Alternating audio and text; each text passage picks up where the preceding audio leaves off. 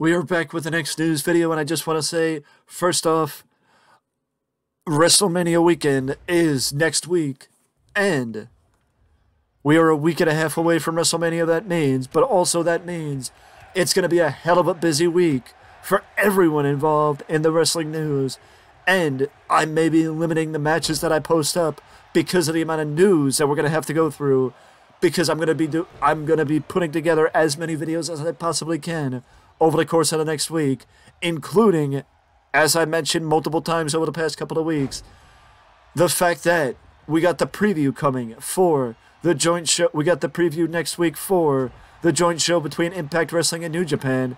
Also, the normal Rampage preview. Also, the Honor Supercard of Honor preview that Thursday and Friday, respectively. NXT Stand and Deliver that Saturday alongside WrestleMania Night 1, and then on Sunday, WrestleMania Night 2. As I will split up both WrestleManias individually, and I will not do one preview for WrestleMania as it is two nights for a reason, so it does require, and it should have, two videos. But also, I may do previews for the for the nights as well it just depends on how much news there is and what there is to talk about. But it's going to be a busy week next week for WrestleMania. But now we jump in and we talk about more as uh, more wrestling news outside of WrestleMania week with Kurt Angle talking about heaping heavy praise on The Undertaker and basically being able. I would say the reason why. Um, he heaped heavy praise on The Undertaker for the Boneyard match that took place at the Pandemic WrestleMania.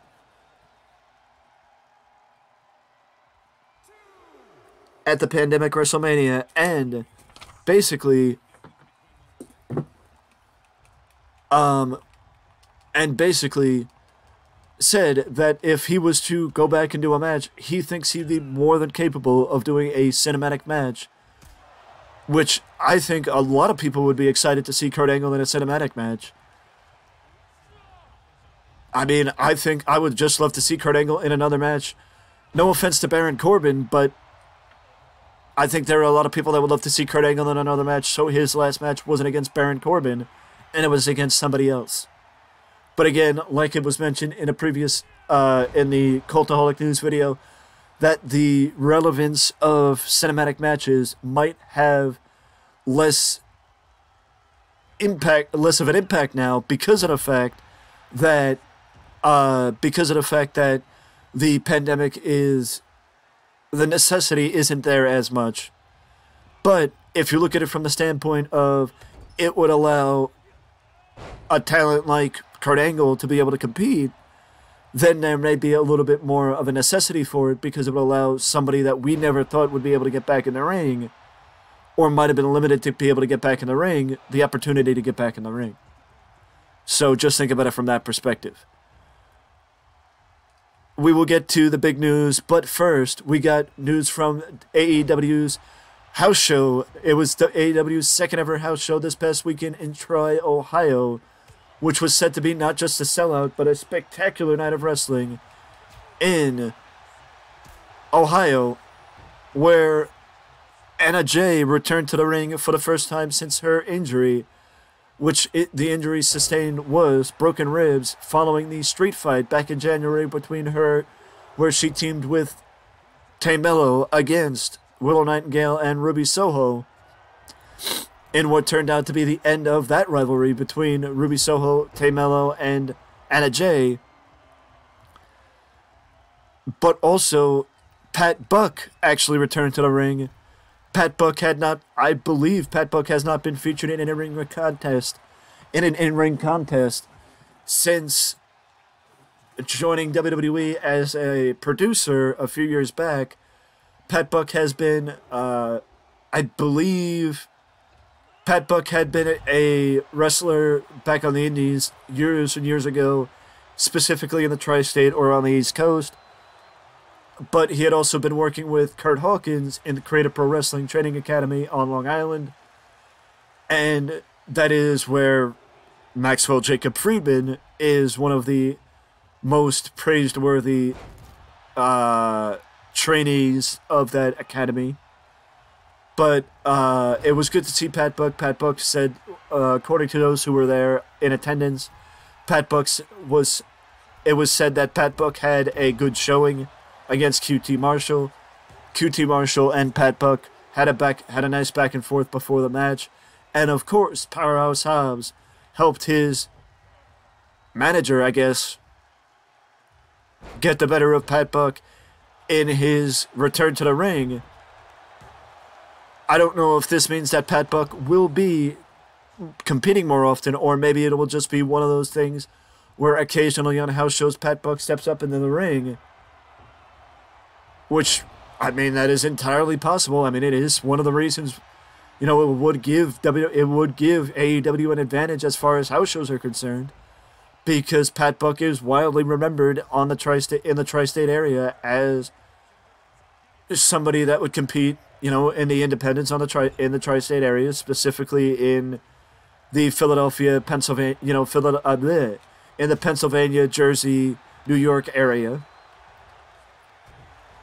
Um, and somebody that a lot of people remember it from the past, but I don't know. Again, I don't see that there being a necessity for Pat Buck to compete.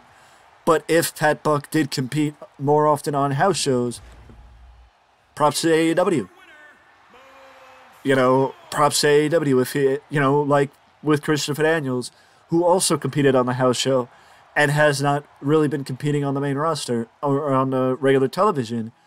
But also, AEW could use that as a way to season new workers, have them compete on the house shows, and I mean, yes, you would need other matches, obviously, but it would allow people like Brock Anderson some seasoning and Aaron Solo some seasoning to be able to compete on the house shows if AEW wanted to go that route as well. And according to, speaking of a little bit more AEW news, FTR's a, a report, an update on FTR is going to be coming in the next couple of weeks, as according to Dax Harwood there seems to have been a decision made that cannot be spoken about right now, but will be able to be spoken about in a couple of weeks. Mind you, April is happening in a few weeks.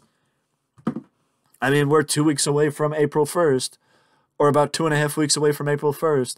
So, April's right around the corner, so we should be getting an update on the future of FTR in AEW very soon an update on Kofi Kingston as we continue to wrap up. Kofi Kingston is uh, recovering at home after a successful surgery to repair his ankle. And he says, you know, from from the update, it seems like uh, it seems like Kofi is in good spirits. It is a shame that it is a shame that Kofi. Uh, there was rumors of a potential return for the New Day for the New Day, um, at WrestleMania with Biggie being in a position where he could possibly, where he could possibly get induct, uh, where he could possibly make an appearance. But the fact of the matter is,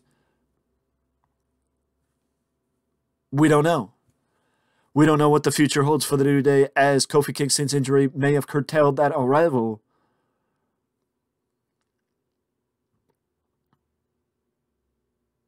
Um, or that returned, but hopefully with Kofi now re- uh, recovering from his injury, that in the not too distant future we could see the return of the New Day.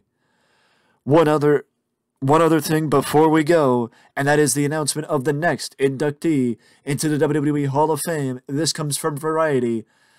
Andy Kaufman, Andy Kaufman will be finally taking his rightful spot in the hallowed halls of the WWE Hall of Fame as Andy Kaufman, it was announced earlier today that Andy Kaufman will be joining the WWE Hall of Fame this year at WrestleMania week uh, during over WrestleMania weekend, and that joins. That means Andy Kaufman joins Rey Mysterio and the Great Muta as the inductees into as the inductees into the class of t- 2023 for the WWE Hall of Fame. Andy, for those of you who may not know Andy Kaufman or the significance that Andy plays in the history of professional wrestling. well, look it up because it was uh, one of the selling points of the Tales from the Territory last fall, as Andy was one of the advents of sports entertainment through his rivalry with Jerry Lawler in the Memphis territory in the early 1980s, selling out the Memphis territory and helping put Memphis wrestling on the map with his rivalry and using his fame from Taxi and as a comedian, creating and crafting his own form of entertainment from intergender wrestling to having his matches with Jerry Lawler and feuding with the King for the better part of a year and a half, two years down in Memphis. Andy Kaufman is rightfully being positioned for his spot in the WWE Hall of Fame. But also now, according to PW Insider, according to PW Insider, there has been talk of a referee being honored, uh, being inducted into the Hall of Fame, and it is surprising to note or it would be surprising to note that a referee has yet to be inducted into the WWE Hall of Fame. With the legacy of referees throughout the years, the likes of Earl Hebner, Jimmy Korderas, Charles Robinson, Mike Chioda, and various others, it is surprising that WWE has yet to induct a referee into the Hall of Fame. And in my opinion, there are a number of referees that could go in. There are a number of referees that could go into the Hall of Fame. But I think if anybody's going to go in, it should be Earl Hebner or Mike Chioda, as Mike Chioda was sent away from WWE during uh, uh, w, uh, Mike Chioda was released during the pandemic, and in my opinion, he deserved better after 30 years in the business. You know, in WWE, he deserved a better departure from the company than being released so unceremoniously like he was. Again, PW Insider reported that there is talk of a WWE referee of a referee getting inducted into the Hall of Fame this year, as this is the first time that Triple H has been in charge of the class, and it would be fitting for a referee alongside the likes of Great Muta, Rey Mysterio, and now Andy Kaufman. This class is shaping up to be one of the most deserving classes in WWE history, and in my opinion, there was no better way to suffice that than also to induct, finally induct a referee into the Hall of Fame because they are more than deserving to be enshrined alongside their fellow brethren. With that being said, though, that is it for the news today. Again, we are rounding out the countdown until WrestleMania. Uh, we one more full week until WrestleMania week, and the go home show of Raw is a week from today. So it's going to be a busy week next week. So get ready because I'm going to be doing my best to get everything done and get everything out on time and ready to go for WrestleMania next week. We are two and a half weeks away from the Showcase of the Immortals. And with that being said, I will see you in the next video.